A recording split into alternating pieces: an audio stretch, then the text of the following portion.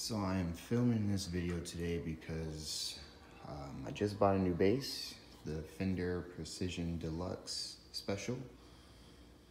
And um, yeah, I was, when I was waiting, I was so excited and I was looking up videos on YouTube of it and I saw that there wasn't a lot of them. And when I get new gear, I always like to kind of obsess over it before I get it and um, look up videos and all of that and get myself pumped up.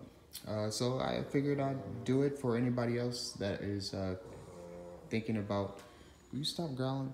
I'm sorry, she's growling back there. Uh, for yeah, for anybody that's thinking about buying one, uh, I want to show you. Uh, this is mine. I just got it a few days ago.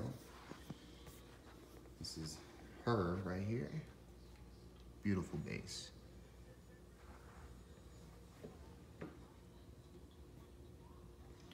I got the maple neck. It is uh, made in Mexico, of course. Would love to get an American, but you know, didn't have the, the money for that. Got the pearl inlays. Looking pretty good.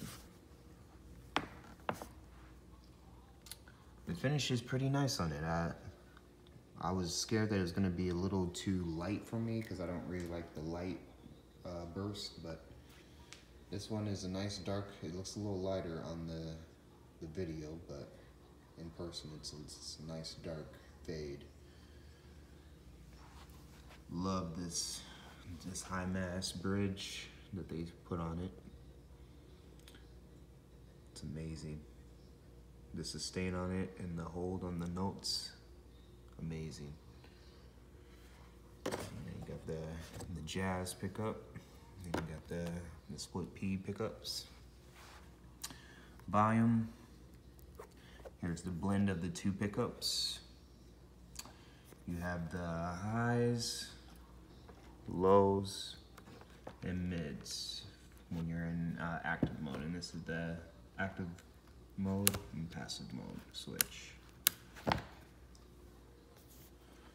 yeah, overall I'm very very happy with my my purchase. This is the back of her. Have the, the two nine volt, the two nine volt battery slots. This is actually pretty cool. They actually swing open for you.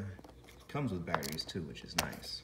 But yeah, they open up like that. Here goes your input. But yeah, closing up. Very solid bass. Not too heavy, but it definitely feels like it's well made. That is for sure.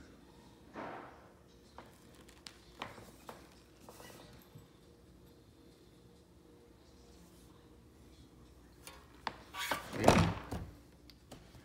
I hope this helps out anybody that's looking to buy one.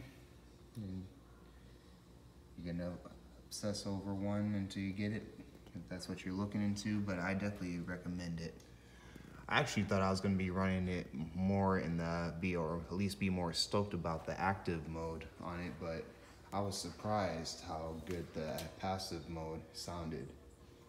So I'm gonna have to play around. Um, I'm normally, well, I'm normally behind a drum set. I'm a drummer, and but I'm looking to get back into bass because I always loved playing bass.